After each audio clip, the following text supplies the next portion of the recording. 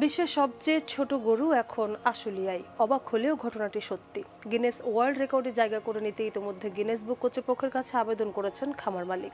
পৃথিবীর সবচেয়ে ছোট গরু হিসেবে এটি স্থান পাবে বলে আশাবাদী খামার মালিক ও উপজেলা প্রাণী সম্পদ বিভাগের। ভুটানের বুটি বক্সার জাতের ছোট আকৃতির গরু রানীকে এগারো মাস ধরে লালন পালন করা হচ্ছে আশুলিয়ার একটি খামারে।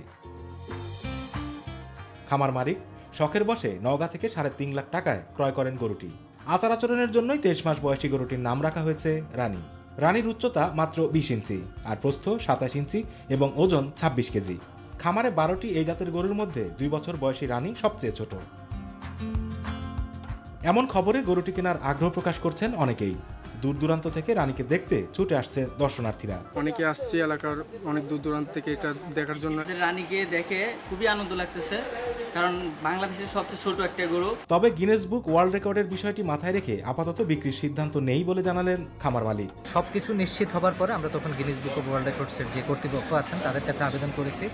ইতিমধ্যেই ওনারা আমাদের আবেদনটাকে রিসিভ করে আমাদেরকে একটা ফরমারি ইমেল পাঠিয়ে জানিয়েছেন। খাবার দাবার সহ রানীর পরিচর্যায় রয়েছে আলাদা যত্ন। অত্যন্ত যত্ন সহকারে লালন পালন করা হয়। সকালবেলা একশো গ্রাম দানাদার খাবার দিতে হয় বিকেলবেলা একশো গ্রাম দানাদার খাবার দিতে হয়। এর মধ্যে দুইবেলা ঘাস কেটে দেয় অথবা খড় কেটে দেয়। রানী বর্তমানে সুস্থ আছে তবে তার শারীরিক গঠন বৃদ্ধি পাওয়ার কোনো সম্ভাবনা নেই বলে জানালেন উপজেলা প্রাণী সম্পদ কর্মকর্তা। এটি মূলত ভুট্টি জাতের খুবই ছোট গরু বয়স প্রায় দুই বছর। দুই জাতের গরু। আহ, এটি সম্ভবত সমস্ত বিশ্বের সবচেয়ে ছোট গরু। বর্তমানে পৃথিবীর সব থেকে ছোট গরুর রেকর্ড রয়েছে ভারতের কেরালা প্রদেশে। মানিকেম নামের গরুটির উচ্চতা চব্বিশ ইঞ্চি ও ওজন চল্লিশ কেজি আর রানীর ওজন ছাব্বিশ কেজি।